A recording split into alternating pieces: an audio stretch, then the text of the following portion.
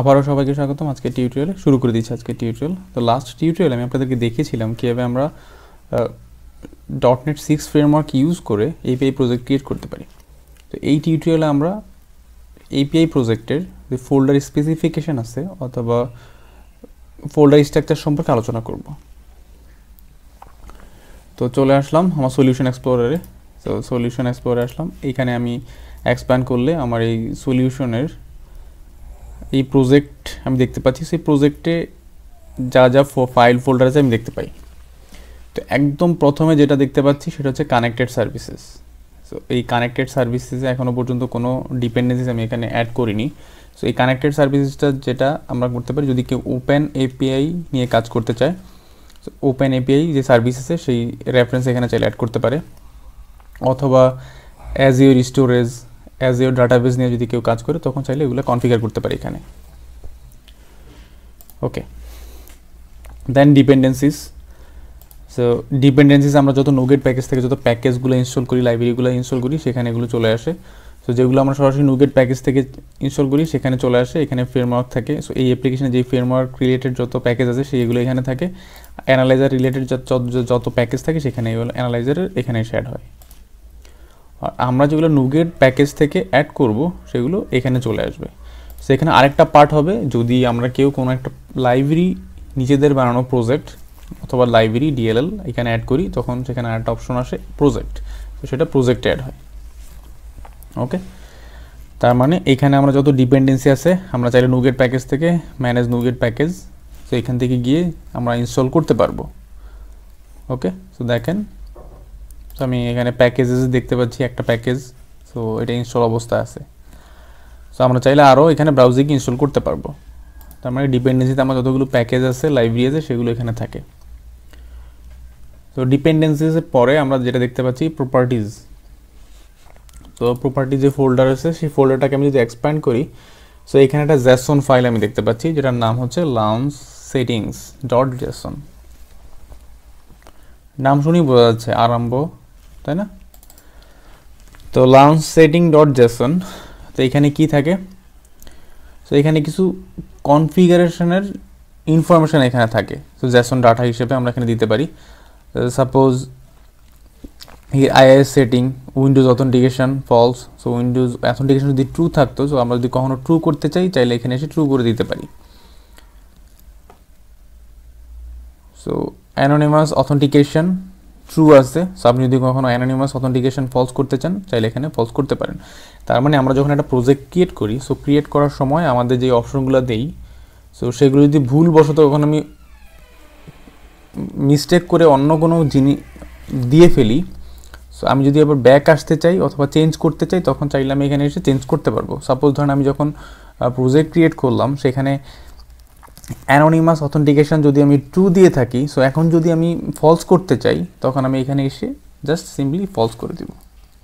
Okay so IIS express application URL আসলে অ্যাপ্লিকেশনের ইউআরএলটা কী হবে? সো এখানে বলা থাকে অ্যাপ্লিকেশন ইউআরএলটা সো লোকাল হোস্ট ড লোকাল হোস্টের পরে আমরা এখানে পোর্ট দেখতে পাই। তো এই পোর্টটা যদি আপনি, এটা ইউনিক হয়, এটা অ্যাপ্লিকেশনের জন্য একটা পোর্ট আপনার যদি পোর্ট এরকম ডুপ্লিকেট হয়ে যায়, তখন আসলে আপনি রান করতে পারবেন না। সো আপনি চাইলে এখানে এসে আপনি পোর্টটা চেঞ্জ করে নিতে পারেন। ওকে দেন এখানে আরও অনেকগুলো অপশন আছে, চাইলে এগুলো চেঞ্জ করতে পারেন। লঞ্চ ব্রাউজার আপনি যখন অ্যাপ্লিকেশনটা রান হবে তখন সোয়াগার ওপেন হবে, কি হবে না? দেন এটা ডেভেলপমেন্ট মোড ডেভেলপমেন্ট মোডে কী থাকবে? এবং আইএস এক্সপ্রেস এইখানে জাস্ট আসলে কিছু কনফিগারেশনের ইনফরমেশান থাকে। যেগুলো আপনি চাইলে সেটিং কনফিগারেশন সেটিং আপনি চাইলে এগুলো চেঞ্জ করতে পারেন। যখন আপনার অ্যাপ্লিকেশানটা রান হবে, শুরু হবে সো এই ডাটাগুলো নিয়ে আসলে চেঞ্জটা হয়। আপনি চাইলে এখানে যদি কখনো চেঞ্জ করার দরকার হয়, আপনি যদি চেঞ্জ করতে চান অথবা চেঞ্জ করার প্রয়োজন মনে করেন, তখন এখানে আসে আপনি চেঞ্জ করতে পারেন। সাপোজ আপনার যখন অ্যাপ্লিকেশনটা রান করেন, যে পোর্ট নাম্বারটা সো পোর্ট নাম্বার যদি চেঞ্জ করার দরকার হয়, তখন আপনি চাইলে চেঞ্জ করে নিতে পারেন। তো পরবর্তীতে আরেকটা ফোল্ডার আমি দেখতে পাচ্ছি কন্ট্রোলার্স সো এটা খুব পরিচিত, যারা অলরেডি ডট নেট ফ্রেমওয়ার্ক নিয়ে কাজ করেন, তারা অলরেডি জানেন। সো কন্ট্রোলার ফোল্ডারে আপনি এখানে সব কন্ট্রোলারগুলো আপনি রাখবেন। সো বাই ডিফল্ট আমরা যখন প্রজেক্ট ক্রিয়েট করি একটা কন্ট্রোলার এখানে থাকে। Weather forecast controller dot CS file তো আমাদের যাবতীয় যত কোড থাকে আমরা কন্ট্রোলারই লিখি। তো কন্ট্রোলার নিয়ে হয়তো ব্যাপক আলোচনা হবে, আমি এখন ইগনোর করলাম। তো আমাদের যত যাবতীয় কন্ট্রোলার আছে, আমরা সব কন্ট্রোলারগুলো এখানে রাখব। সো কন্ট্রোলার ক্ষেত্রে একটু বলে নিই, যারা. ডটনেট ফ্রেমওয়ার্কে কাজ করছেন, তখন আমরা আসলে কন্ট্রোলার যে ক্লাস যে এটা একটা ক্লাস সো এই ক্লাসটা আসলে এপিআই কন্ট্রোলার একটা ক্লাস ছিল, সেই কন্ট্রোলার থেকে ইনহেরিট করতো। But latest version dot net core dot net five dot net সিক্সে কন্ট্রোলার বেইজ একটা ক্লাস আছে, সেই কন্ট্রোলার বেইজ ক্লাসকে ইনহিট করে ওকে এপিআই কন্ট্রোলারকে না কন্ট্রোলার বেইজ ক্লাসকে সো এগুলো নিয়ে পরে আলোচনা করব। সো আপাতত বলি ফোল্ডার স্ট্রাকচার সম্পর্কে কথাবার্তা বলতে গিয়ে যে আসলে জাস্ট শুধু কন্ট্রোলার যে ফোল্ডারটা আছে কন্ট্রোলার্স সো এখানে নাম শুনে বোঝা যাচ্ছে অনেকগুলো কন্ট্রোলার এখানে থাকবে। সো যত খুশি আপনার যত দরকার অ্যাপ্লিকেশনের মধ্যে সব কন্ট্রোলারগুলো আসলে এখানেই থাকবে। App setting dot JSON so এখানে আমি একটা জেসন ফাইল দেখতে পাচ্ছি। So app settings dot JSON settings so যেখানে আসলে আপনার অ্যাপ্লিকেশনের যে সেটিংসগুলো আছে, তো সব সেটিংসগুলো এখানে থাকবে। সাপোজ এখানে কিছু জিনিস দেখতে পাচ্ছি লগিং লগ লেভেল ডিফল্ট তারপরে অ্যালো হোস্ট আপনি কোন কোন হোস্ট অ্যালো করতেছেন। এবং উইথ আপনার যদি ডাটাবেস নিয়ে কখনো কাজ করেন সো ডাটাবেসের যে কানেকশন স্ট্রিং আছে, সেই কানেকশন স্ট্রিংগুলো এখানে রাখতে পারেন। ওকে সো এটা খুব বেস্ট ওয়ে অথবা বেস্ট উপায় যে আপনার কানেকশন স্ট্রিং আপনার অ্যাপ সেটিংস ডট জ্যাসন যেই ফাইলটা আছে সেই ফাইলটাতেই রাখা। সো অ্যাপ্লিকেশন লেভেলে যত সেটিং আছে, সব সব সেটিংগুলো আসলে এখানে রাখি। আমরা.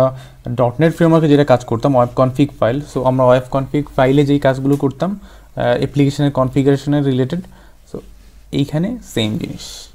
App settings dot JSON then program dot CS আমরা একটা ক্লাস দেখতে পাচ্ছি, যেটা প্রোগ্রাম ডট সিএস